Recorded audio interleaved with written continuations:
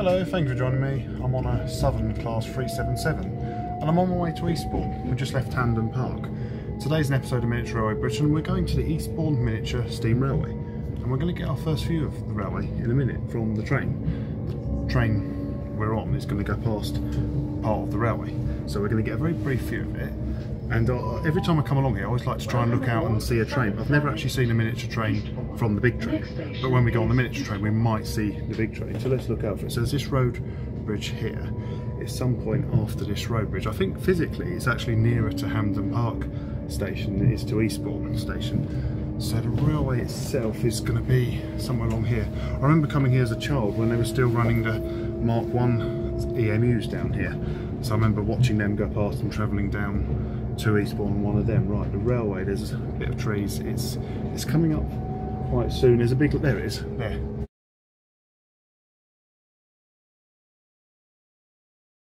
Just there. Um, yes, it was a very brief view and you didn't see much of it, but when we get to Eastbourne and we go to the railway, you'll see it all when we get there.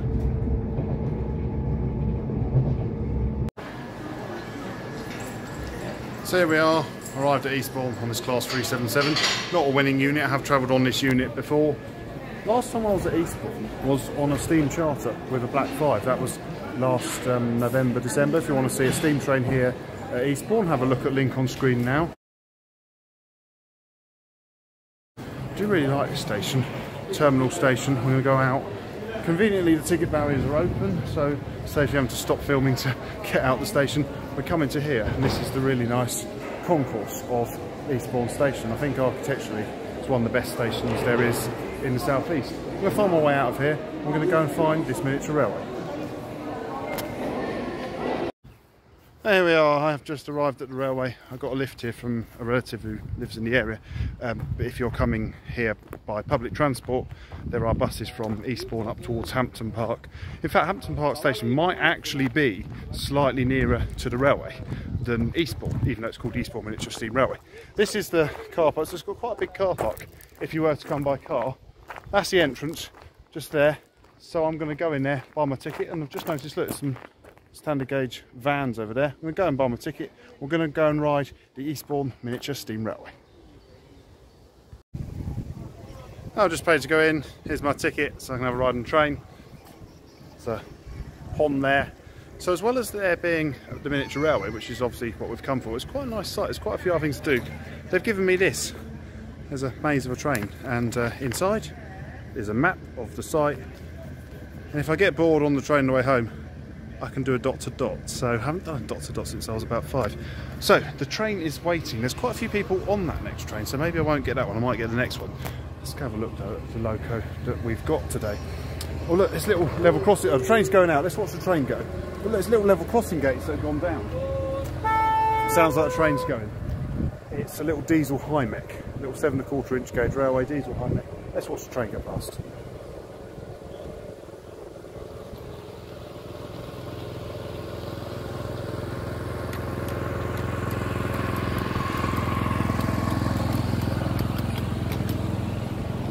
a nice happy bunch of passengers waving at me as they go off on their trip, which is what we're going to do quite soon. So there's, so we've got these level crossing gates we think are great. They're going to go up. Now the train's gone, they should go up. Yeah, okay. And this, yeah look, so it says nature walk, platform two, etc. There's a maze here. So we're going to go across, going across the track. So here's the railway station. There goes the train. Oh, this is the picnic area. So, perhaps on busy days, look, there's a platform too, so perhaps they run two trains. Today is a off-peak weekday, and it's, oh, there we go here. It's an off-peak weekday. If, if I was come on the weekend, they run steam trains, but I came here today because I knew they'd be running and just fancied the day out here. So that's why they're running diesel today. But if I was to come perhaps in the summer holidays or uh, weekend day, they'd be running steam. So we'll perhaps come back here one day. Or maybe if they have a gala. Ducks here. If they have a gala, perhaps we could come and see the other trains they've got um, running other locos. There's the engine shed. I think sometimes they have them out here. Um, so they've even got a Flying Scotsman. It tells you all the locos have got. They've got Flying Scotsman, they've got a Royal Scot, Great Western, Loco, uh, 3800 class, Schools class, called Eastbourne, Black 5, Class 37 the Britannia, that's today's loco. That one there. They've got an 08 shunter. So they've got quite a nice lineup of locos, but they're all in the shed. So perhaps we'll come and have a ride with them one day. So this railway, what I've noticed, it's a bit like along the lines of, say, the Great Cockcrow Railway, seven and a quarter inch, it's one gauge, everything is a replica of a standard gauge loco, there's no narrow gauge, so it's all one scale. Oh, and then look, this must be the carriage sheds up here, and there's an 08 shunter. So there's an 08 shunter there. Um, let's have a look, see what we can see. So look, there's some carriages inside the shed. So you sit on top of the carriages. So when there's no one on the carriages, it's like a slightly larger model train, which I think is quite nice.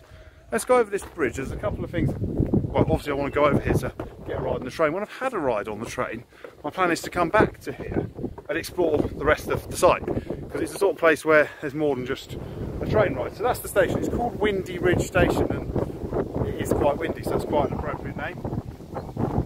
There's a little gauge one model railway down there and then that way get a view looking out across the railway. So the train should be back fairly soon. Let's go down here. There's some more model railways to see. So you've got that one there, gauge one. Um, then we'll go through here down to this shed. There's the sidings. There's some layouts in here. Oh yeah. Now I came here as a child. I when I last came here, it must have been about 2004, they were still running the Mark 1 EMUs to Eastbourne. And this is exactly as I remember it. So what you do, you put 20p in, and you can make these little layouts go around. So perhaps I'll do that in a minute. I'll put the um, put, put 20p in, and the trains will go around. Let's do it now actually, because the train it's going to be a while until the train comes back. We'll do that, and then we'll go and have a ride on the miniature train.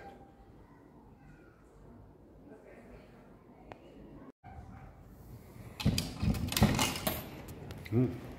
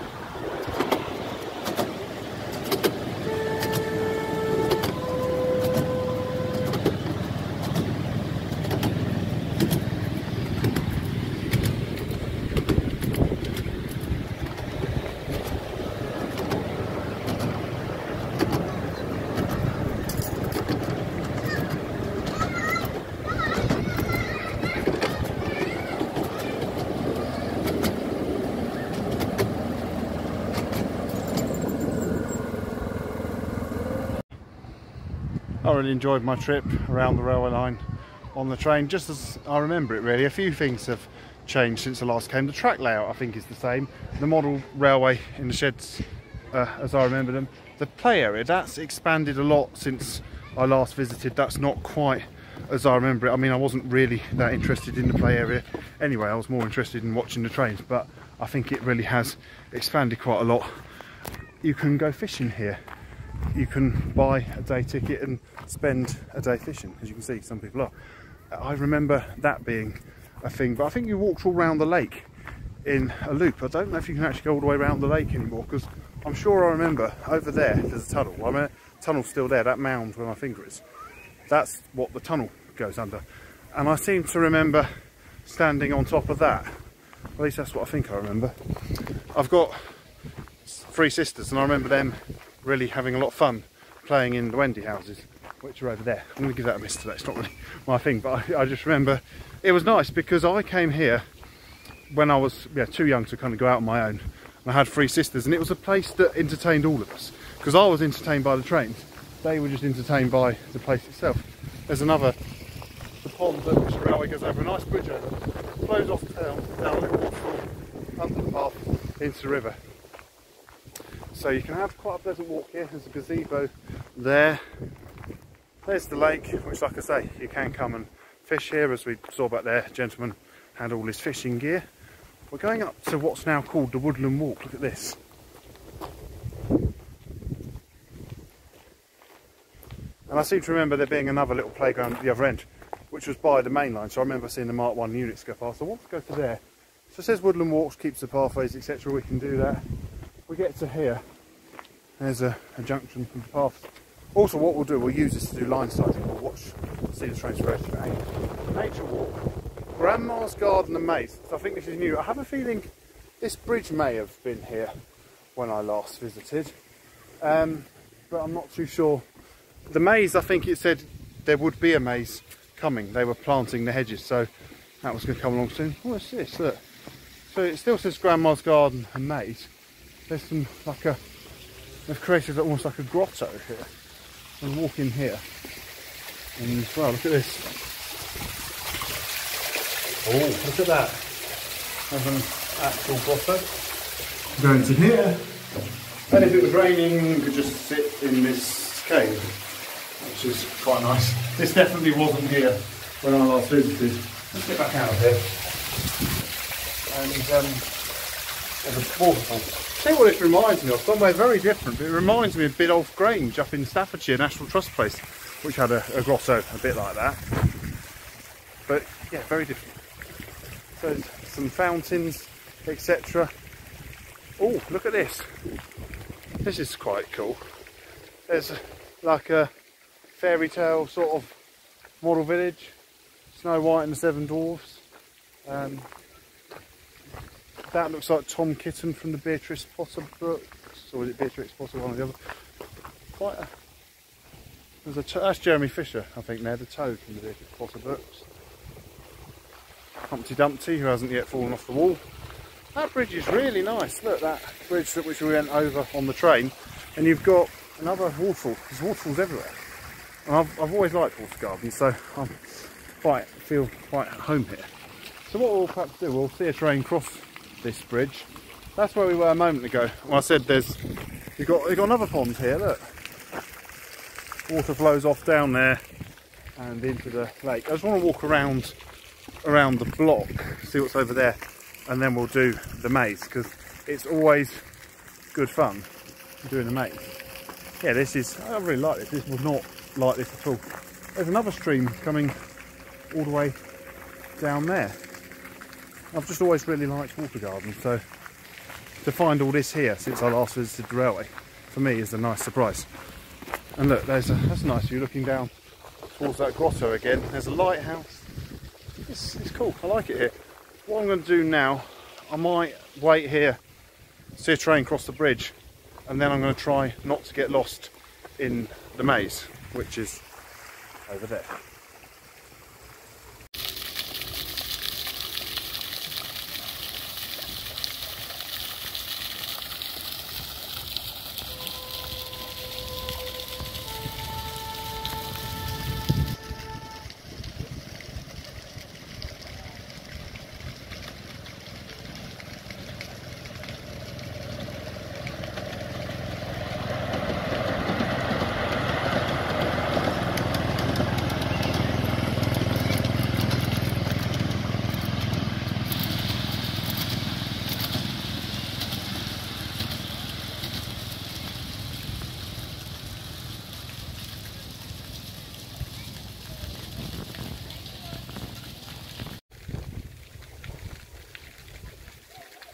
Was nice to see the train cross the bridge. Now let's go in the maze. On the last episode of Miniature Railway Britain, went to the Bridgeview Light Railway in Coventry. That one also had a maze, and that was a bit of a strange maze because it got a bit dark and scary. I mean, if you want to see that, have a look at link on screen now. But let's have a look at this one. So, it says maze. It's unsuitable for pushchairs and wheelchairs. There was a little part there for pushchairs. Railway signal, you must find, so we've got to find a railway signal. So follow the paths that twist and wind and don't get lost, my dear friend. The winner makes it to the end. Nice little poem. Let's go and find this signal in a maze, which is going to be quite fun. So we're going to, um, now I've got two ways of doing a maze. What I'm going to do, I don't know how obvious it's going to be on camera, but I'm going to do my first policy, which I actually, that's a dead end, I revealed in my last Miniature Railway Britain video. So if you want to see, um, well I'll tell you what my policy is in a minute, but let's just put it to the test, because it does two things. Go around here, you might actually be able to work out what I'm doing. That's a dead end as well.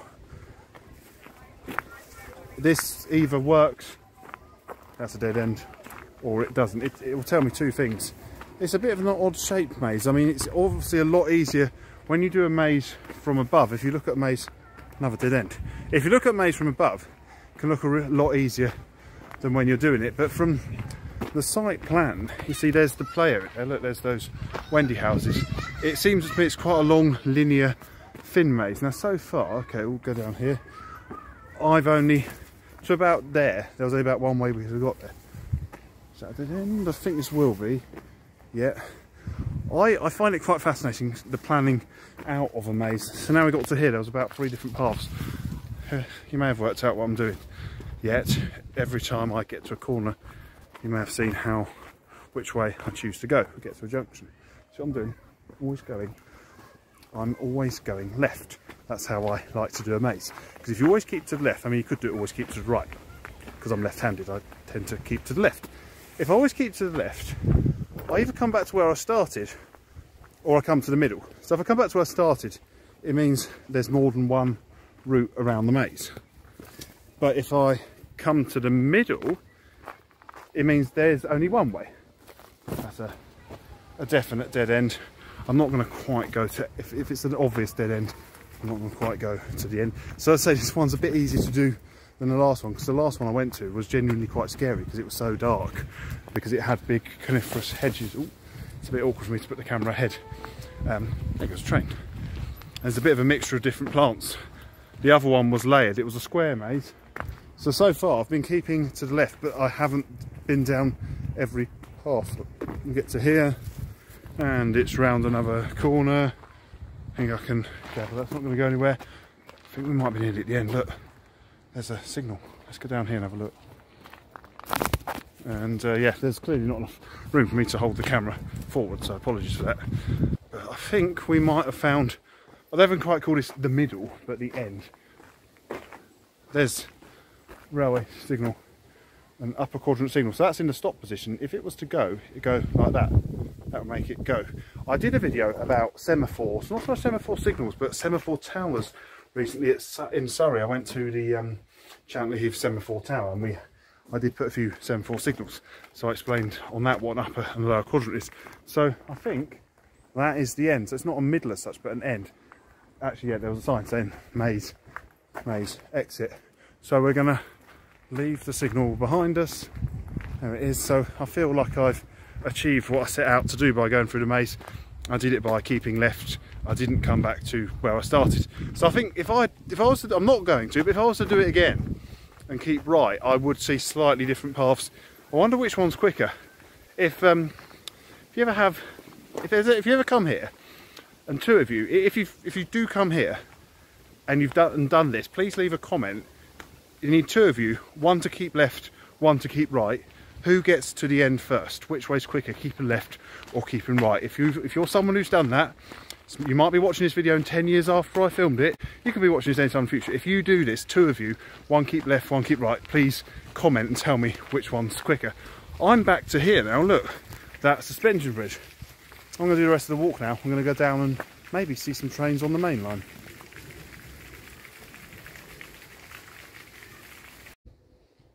So I've now made my way after doing the maze, come back over the railway line, that bridge we came to, did a little walk through the woods, and we're now running beside the railway. Very nice and neat. Some railways, you know, aren't as well kept as others, but this is really nice and neat. And you could just line side here. It'd be great if they had a gala and they were just running all the steam locos, just watching them all come past one by one. We'll definitely wait and see, you know, the Hymek that's out today go past somewhere along here. And also, just there, look, see that? That is a colour light signal, not for this, for the main line, where we got a brief view of the train, of this railway from the train we were on. So what I'm going to do, I'm going to hang around here. I want to see a train go past, big or small, preferably big, because then the small train we can see anywhere. And then I'm going to continue walking up there. If you look up there, there's a, another foot crossing, and that'll take us to the end of where this walk goes, I think.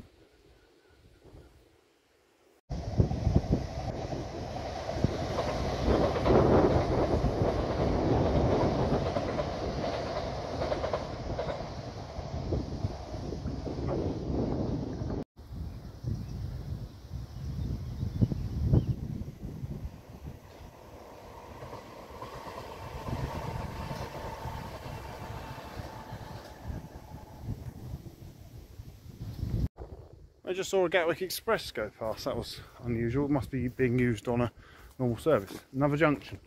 We could go over there and follow the nature walk. We could also go to Bird Birdhide. So this place is good if you like animals as well. Quite a lot of railway enthusiasts I know like birds. I'm, I mean, I, I appreciate the interest, but I wouldn't call myself a, a bird spotter. Um, yeah, look, it says Birdhide. It says shh, there's anyone in there, I won't, we won't have a look, let's just see. Okay, it's nice and empty. It's just us. And um, get a view out over the lake. The birds aren't active today, but you could sit here, watch birds. If birds are your thing, and if you like birds and railways, go and watch trains as well.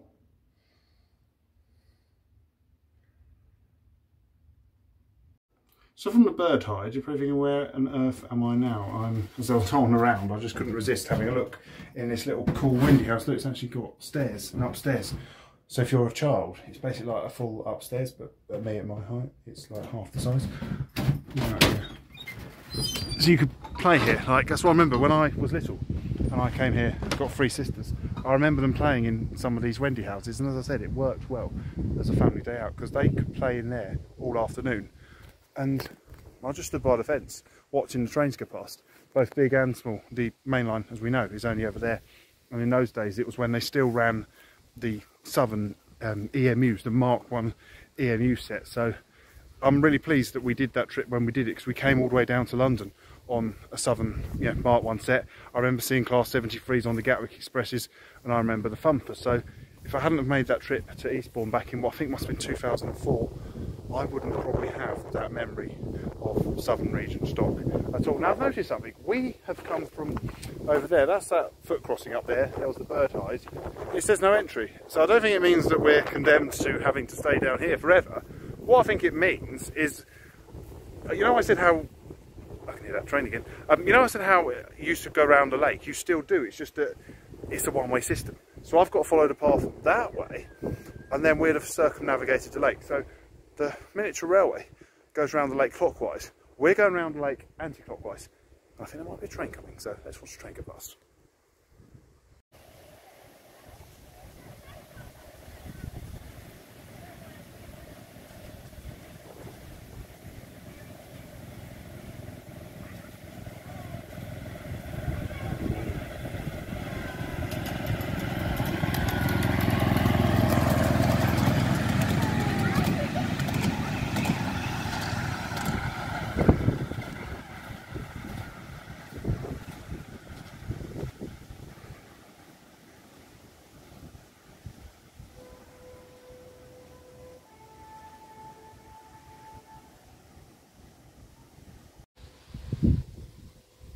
I'm just slightly further along the track from where we saw the Hymek a moment ago.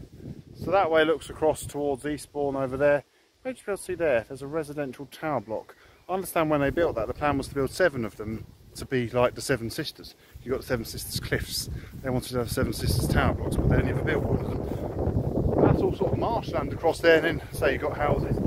If a train was to run along there now, we would see it. I can just see a colour light signal on the main line out of Eastbourne. There's that tunnel which we went through when we were on the train. So as I said, the train, we can actually see the station just there on the lake. So it's quite, it's an exciting journey because as soon as you get going, you leave the station, you're on the side of the lake, you come to a tunnel, you've got these nice long straight sections of track, you might glimpse a passing train on the main line and then you go round over the bridges and back to where you started. It's a nice little trip. Look at this, what's here? Maybe, again, we've got a choice of two ways to go. We could go that way, go up here. Of course, going up here, you know where we are? We're on top of the tunnel. And uh, looking at the, the ground, the topography, you can quite clearly see where the tunnel is, where it's got a little bit warm, where people have walked over it. So yeah, that's the railway tunnel down there. There's the lake, Canada geese waiting on the lake. And we go down here, we're coming to the other side of the tunnel. I think this is where, is that a train? I think I'm here mainline train. Let's just run over there. Is it yellow? Okay, there we go.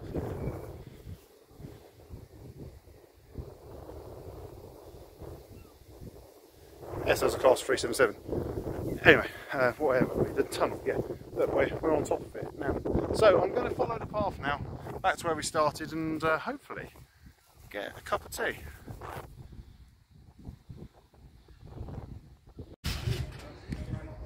Got a coffee. Now, while I was out, um, something has happened. Look, the shed suddenly has some steam locos. Some steam locos have come out, which is really nice. We've got a Great West. Oh look, you can just see a Gatwick Express over there on the main line. I hadn't realised you could see the main line from here. So we've got a Great Western heavy freight steam loco. We've got Flying Scotsman and we've got a 4F. So that's really quite a nice surprise to see those. Um, what I'll do, we'll, I'm going to run over the other side. We'll have a closer look. Here we are, back over the other side, so we can have a better look. So we've got a 4F locomotive. She's called Rachel.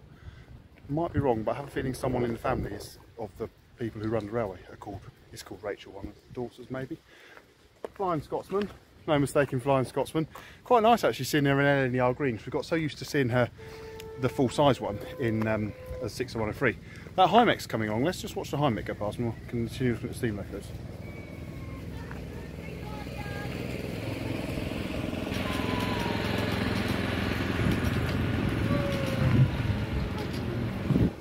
So there goes the train, bringing some more happy passengers back to the station. So yeah, Flying Scotsman. It's it's nice to see Flying Scotsman. I wonder if they ever bring the full-size Flying Scotsman to Eastbourne. If they do, make a great video. Flying Scotsman steaming past on the main line. This one could steam past. Maybe if that ever happens, they'd do that. And then we've got a Great Western heavy freight locomotive. So we've got a really nice lineup here of um, we've kind of got one from each region although we haven't got a southern one out but we've seen southern trains so we've got like southern in modern day and then we've got great western lner and lms so i hope you've enjoyed this video thank you very much for watching please do feel free to like subscribe and comment if you're out this way do come and visit this miniature railway. It's easy to get to. You can get here by bus. It's got a big car park if you want to drive so you can come by public transport drive. Very nice area eastbourne. I don't think i'm going to get down to sea today because i'll probably catch the train back but i've had a great time here. So from the eastbourne miniature steam railway stood next to flying scotsman and a few other steam locos. I think they're going to bed now. So thank you very much for watching. Please do feel free to like subscribe and comment